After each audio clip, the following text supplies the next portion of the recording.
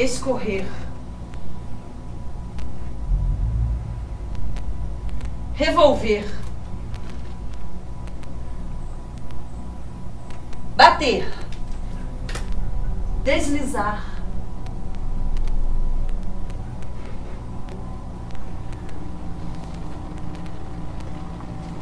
afundar,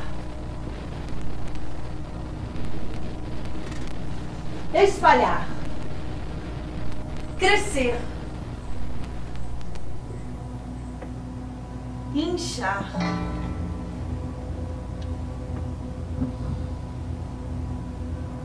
penetrar.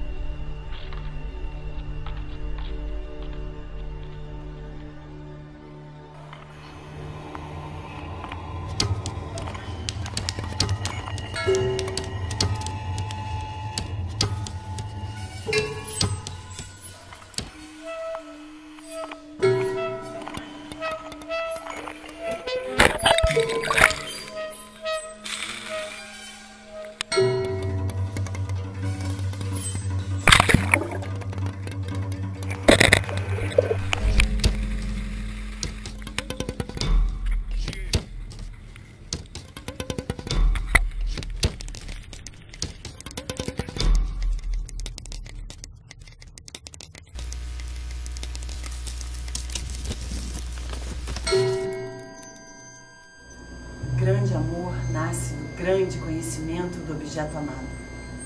Se você sabe pouco sobre ele, será capaz de amá-lo apenas um pouco, ou mesmo nada.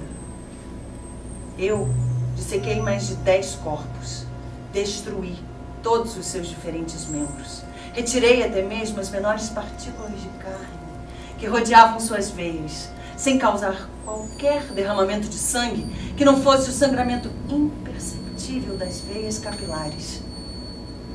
E como um único corpo não seria suficiente, foi necessário proceder por etapas. Com tantos corpos quanto fossem necessários para tornar o meu conhecimento completo.